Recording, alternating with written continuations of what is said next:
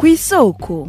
Ku isoko ni ikiganiro mushikirizwa mukagitegurirwa n'urunani rw'amaradiyo radiyo inzamba agateka kawe radiyo rpa ijwi ry'abanyagihugu na radiyo televiziyo renaissance.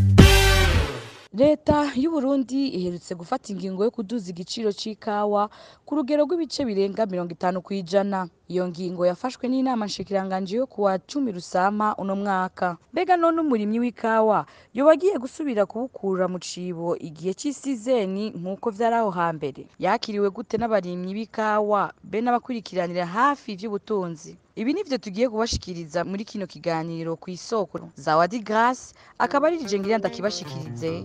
Kaze.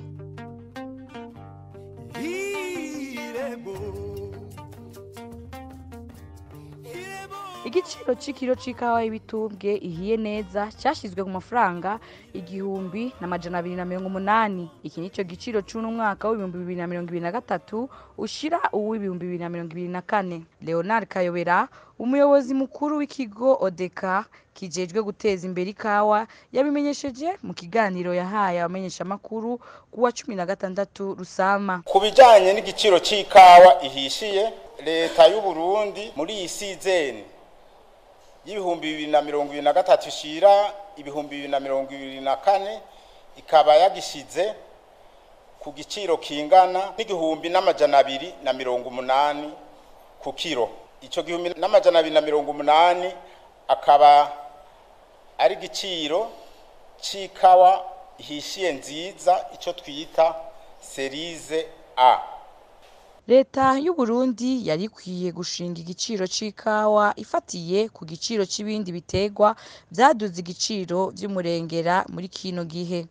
Bivugwa n'abarimyi b'ikawa bo mu ntara za Kayanza na Rumonge baganiriye na bagenzi bacu bo kuri radio RPA bavuga ko n'ubu ikawa atanyungu bayibonamwo. Amahera yarataye agaciro leta yagumye idandaza hafi y'ayandi nyene. Urumva nk'ubu ku mwaka weze batuguriye amajana munani arenga gatoyi. Ubu rero bongeye ko amajana ane. Muharure murabe wiyumviriye ukuntu ifaranga ry'uburundi ryataye agaciro. Usanga umurimyi w'ikawa ataco ariko arakorera nico gituma eh, nk'ubu nka jewe nari mfise kera ibipimo bitandatu. Aho mbonye inzara igira iratera kubera amahera y'ikawa ataco akimvuna. Ibipimo bibiri narabirimyemo imyimbati imyimbati yeze nko mu kwindwi ninasoroma ndamaze kubona ko umwimbu uzovamwo uruta kure n'iyo. Wagahawa n'umwaka databanje bavuga ko batwongeye ngo bashize ku gihumbi n'abiri ariko naho nyine uravye twebwe hari ivyo dukora ivyo dushiramwo umwanya dukoresha kugira ngo umuntu arinde agera ku isaha yo kwimbura agahawa kuronka agahawa yamura k'ibiturumbwe bigize bihiye abayakoresheje umwanya muremure abayakoresheje amahera menshi. Muravye twebwe kera bakitugirira amajana atatu umukozi ku munsi yari amajana atatu nyene abiri n'itanu.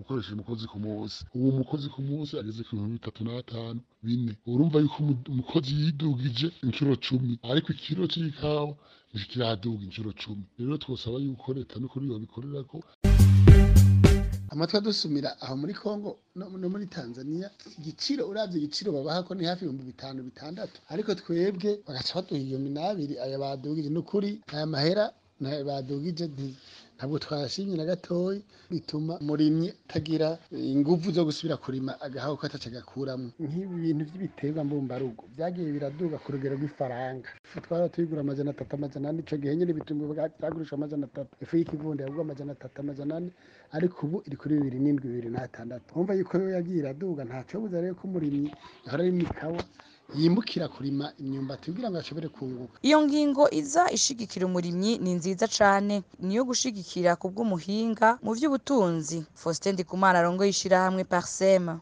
Ku bisanzwe ingingo nk'iyo rero ifashwe yo kogereza igiciro ni nziza rero turayishima cyane muri pariseme kuko eh, uravye ingene ibiciro biriko biraduga mu buzima bw'abantu karaba ingene ibijanye n'amafaranga y'agaciro abuze n'ingene ifaranga ry'ubundi usanga eh, nk'ubu rero bwagabanuka agaciro. Ingingo nk'iyo ni nziza cyane kuko ibanda yija gushigikira umurimyi kugira ntahava anadebukirwa mugabo na cane cane naho nyene bakaraba yuko ibiciro bitubana biduga cane nk'ivyo bindi kuko burya kera nk'umurimyi yarakunda kuraba umurimyi w'ikawa akaraba. Igiciro c'ikidarazo vyakungwana yari nk'igiciro c'ibiharage urabona nk'ikiro c'ibiharage kigeze mu bihumbi bitatu birenga urumva. Icikawa kikiraho haraca mabona umenga warenye ibiharage ni we ashobora kubidandaza gusumba canke ngo uriko aragira ibiharage akawusanga ni ho abona yuko umenga havamo akanyungu. Mugabo muri rusange iyi ngingo nk'iyo niyo niyo gushigera kurumva izo yotuma n'umu- nu- n'umurimyi w'ikawa avuga ati muri ibihe by'ubutunzi bigoye nanje ndibutswe.